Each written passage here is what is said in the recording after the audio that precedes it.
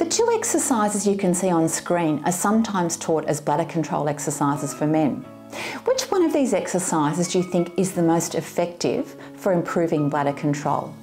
Hi, I'm Michelle, and unfortunately, neither of these two exercises will improve your bladder control. These exercises, while they're still taught sometimes as Kegel exercises, they're actually exercises for your buttocks, for your hips, and for your thighs. They won't do anything for improving your bladder control, so you're wasting your time if you're doing those.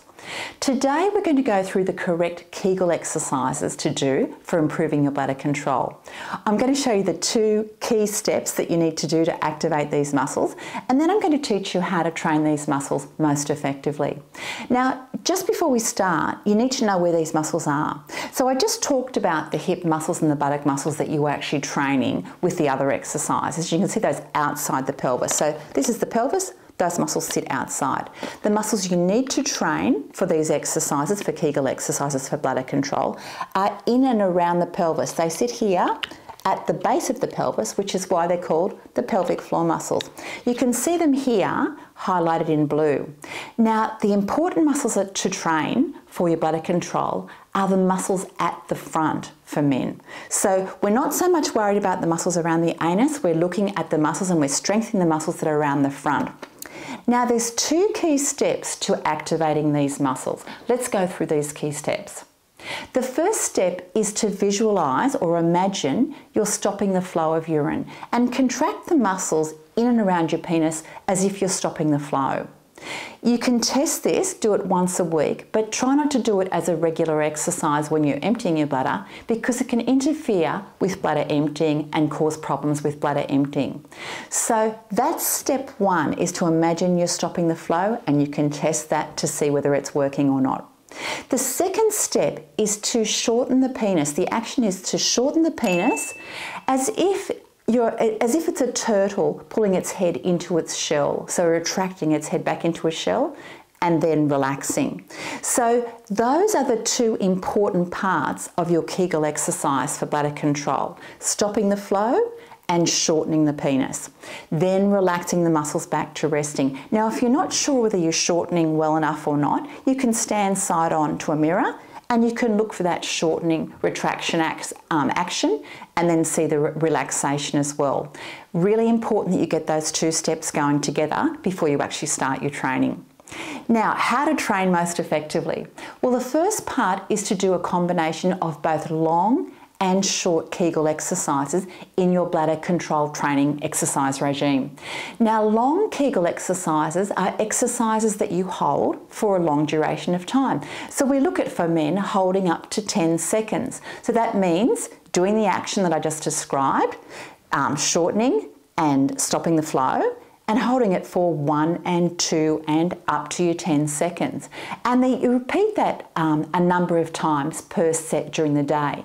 And we try to get you to do up to six sets a day of 10 exercises. So quite a few exercises of your long exercises. We also try to get you to do short exercises. Now, the other exercises, the longer ones, were for muscle endurance. The short ones are short, fast holds. They're one second lift lower, or contract relax. And these are for strength and for power to control the bladder. It's actually an exercise called the Knack. And they control bladder leaks with um, um, activities like coughing, sneezing, heavy lifting. So we also try to get you to do 10 of those short exercises in a row as well, six times a day. So if you're not sure about the number of exercises you need to be doing, just stay tuned because my next video coming up, and I'll also link it above, is on how many Kegel exercises you need to do for training. I'm not going to go into that so much today. Now, the third thing we need to go through is the best positions for doing your Kegel exercises for improving your bladder control. Now, when you start out, the muscles might be weak, which means you might need to start lying down. Perhaps you can start lying down uh, on a lounge or on a bed with your knees bent and do that action that I talked about, doing your long exercises and doing your short exercises. Now, as you improve, and you can imagine if you're lying down, pelvic floor muscles are like that, so they're not under any load. We then get you to actually move into sitting. So if you're sitting on a chair, you can then start to lift the muscles against gravity, which is really important for strengthening and making the best strength gains you can for your pelvic floor muscles. So you can do those exercises there. And the other benefit from sitting is sometimes you can feel the muscles around the base of the penis contracting and moving away from the chair. So it acts as a good reference point for some feedback about the correctness of your exercise. Now, finally, um, we get you to do your exercises in standing because standing is the position that you really most likely to leak or leak urine. So this is the position that you really need to practice in, and also too, you'll make your most strength gains lifting against gravity when you are in standing as opposed to lying down. So standing exercises are really important. If you can do standing exercises when you first start out, fantastic. Start with your standing exercises. Now, finally, I want to talk about functional training. This is a really important part of bladder control exercises for men, and it's often overlooked.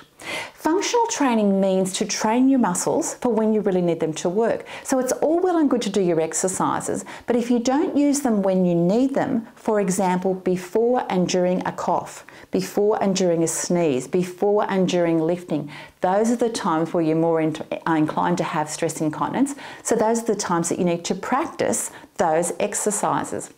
If you're a, gentleman that has problems leaking when you go from sitting to standing, contract your pelvic floor muscles with the technique that I've already described when you're sitting and as you move into standing so that you actually get that pre-contraction happening as you move into standing and practice doing that um, when, when the bladder isn't full so that you can actually improve your condition so that when the bladder is full, you're more likely to be able to hold and remain continent. And remember, finally, I talked about the importance of uh, doing your exercises standing because that is the position that you're most likely to leak. So it's important to practice your exercises in preparation for when your bladder is full and when you're more likely to leak in standing. So we've talked about quite a lot there, haven't we? We've talked about the two key essential parts of your Kegel exercise for bladder control. We've also talked about the positions to start your exercises in to train most effectively for bladder control. And then we talked about doing long and short exercises and the importance of functional training. So I really hope this information helps you with Kegel exercises that improve your bladder control. And if you've liked the video, I'd really appreciate it if you can give it a like below because then YouTube will show it to other men that can benefit from this information as well. Thanks so much for watching today. Look forward to seeing you next time. Goodbye for now.